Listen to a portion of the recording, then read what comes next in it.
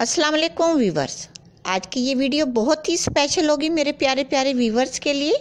जो cutting stitching का शौक़ रखती हैं और इस टाइप की डिज़ाइनिंग चाहती हैं और पूछती हैं, इस टाइप के ड्रेसेस हम घरों में कैसे स्टिच करें? तो व्यूवर्स आज मैं आपको इसकी डिटेल बताऊँगी। आपको पिक्स के ज़रिए एक्सप्लेन करूँगी कि आप किस तरह से इस टाइप के ड्रेसेस खुद भी स्टिच कर सकती हैं, अगर आपको थोड़ी बहुत सिलाई आती हो। अगर नहीं भी आती तो आपके लिए कोई मुश्किल नहीं है। आप इस टाइप की डिज़ाइनिंग अपनी टेलर को दिखाएँ और उसे ट्रिक बताएँ, इंशाल्लाह। आपकी मर्ज़ी का ड्रेस आपकी बेबी का होगा। इस टाइप के dresses ball gown dresses balloon dresses fairy dresses princess dresses जो भी आप प्यारा प्यारा अपना बेबी को नाम देना चाहती हैं, उसी टाइप का फ्रॉक का नाम रख सकती हैं।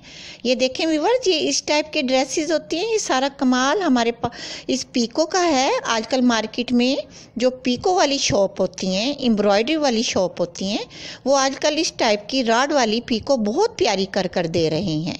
आप उनके पास जाएँ और बोलें कि हमारे बेबी फ्रॉक में इस टाइप की रॉड वाली पीको कर दें। वो एक मोटी तार डालकर ऊपर पीको करती हैं, जिसे हम चाइना पीको भी बोल सकते हैं, जापानी पीको भी बोल सकते हैं। बहुत खूबसूरत, करीब करीब सी एम्ब्रॉयडरी कर देते हैं पीको की तरह, जो कि एक रॉड बन जाता है। यानी कि रखते अंदर तार ही है। कोई इसे अल्मोनियम की तार बोलता है, कोई नाइलून की तार बोलता है। आप जिस शेप में डिज़ाइनिंग को कट कर कर देंगी, वो उसी टाइप से पीको कर देंगे।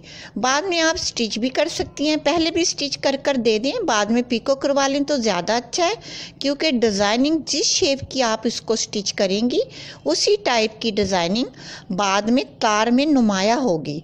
क्योंकि मेरी तो कोशिश है कि मैं पहले फ्लेयर को प्लेट्स देकर बॉडी में फिट कर लेती हूँ, बाद में पीको करवाती हूँ।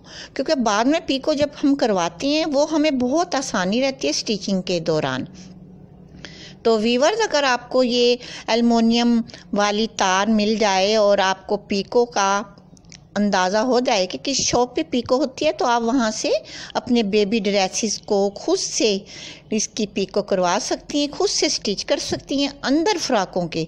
एक बात को बहुत ज़्यादा मद्देनज़र रखें, जब भी आप fairy frock ball gown frock princess frock जो भी फ्रॉक आप सीना चाहती हैं, आप चाहती हैं आपकी बेबी का फ्रॉक फलफी फलफी बहुत फूला हो तो आप उसके अंदर हार्ड नेट यानी कि कैन कैन ज़रूर इस्तेमाल करें। कैन कैन के बगैर बगैर आपका बेबी फ्रॉक बेबी मैक्सी कभी भी खूबसूरत नहीं बनेगी।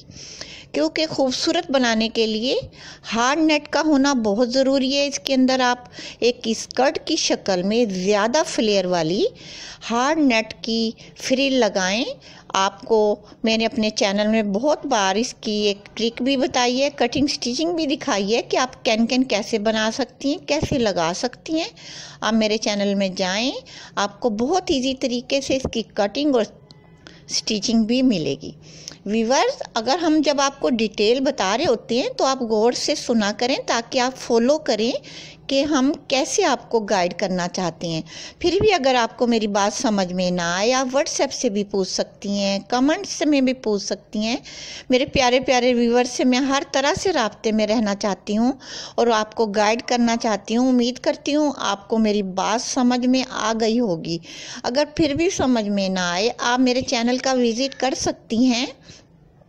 क्योंकि मैंने इस टाइप के ड्रेसेस अपने चैनल में कई ड्रेसेस कटिंग स्टिचिंग के साथ लगाए हुए हैं।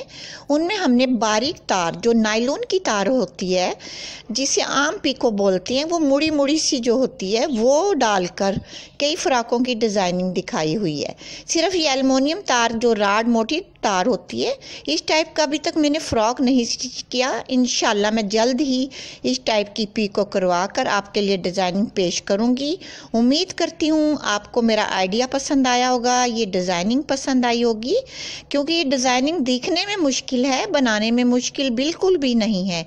आप कोशिश करें नेट फैब्रिक की और गंजा फैब्रिक के इस टाइप के ड्रेसेस बनाइए और अंदर प्लीज़ प्लीज़ हार्ड नेट जिसे कैन कैन बोलते हैं, वो लाजमी लगाइए, उससे ही आपका फ्रॉक खूबसूरत बनेगा। बाद में ऊपर की डिज़ाइनिंग में पीको करवाएँ, जो कि अल्मोनियम राड बोलते हैं, तार बोलते हैं, जो भी बोलते हैं, आप उसकी पीको करवा लें, आपके बेबी का ड्रेस रेडी है। और अगर आपको मेरी वीडियो अच्छी लगे तो प्लीज़ लाइक शेयर एंड सब ज़रूर सब्सक्राइब ज़रूर कीजिएगा। दुआओं में याद रखें। ओके अल्लाह हाफिज़।